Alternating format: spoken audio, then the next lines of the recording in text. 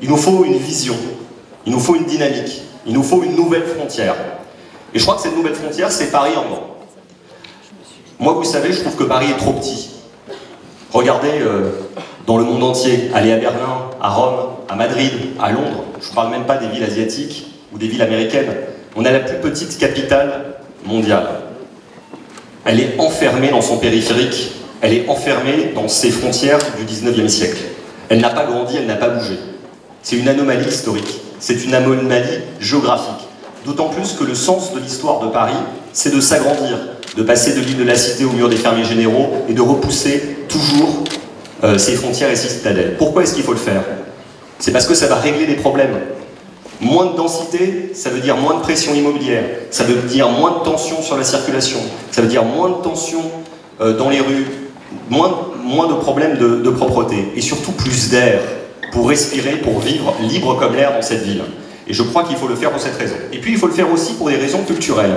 Moi, je ne supporte plus que les candidats à la mairie de Paris depuis de nombreuses années, qu'ils soient de droite ou de gauche, jouent en réalité Paris intramuros contre sa banlieue. Moi, je crois qu'on est parisiens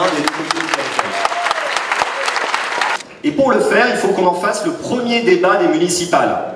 Il faudra interroger tous les candidats, toutes les candidates sur cette question.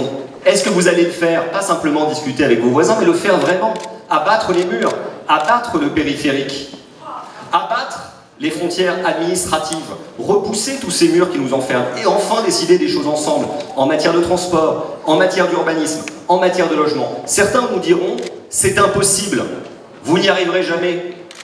Mais bien sûr que si, on va y arriver. Nous sommes parisiens, puisqu'on le veut, on va le faire. Tous les Parisiens, tous les Parisiennes vont venir dans ce mouvement et on va débattre tous ensemble. Et je sens une énergie ce soir, je la sens depuis six mois. Je ne sais pas où tout ça va nous conduire, où est-ce qu'on sera en 2020, mais ce que je sens profondément, c'est que nous avons l'énergie pour reprendre les clés de l'hôtel de ville, et donc on en reparlera. Merci à tous.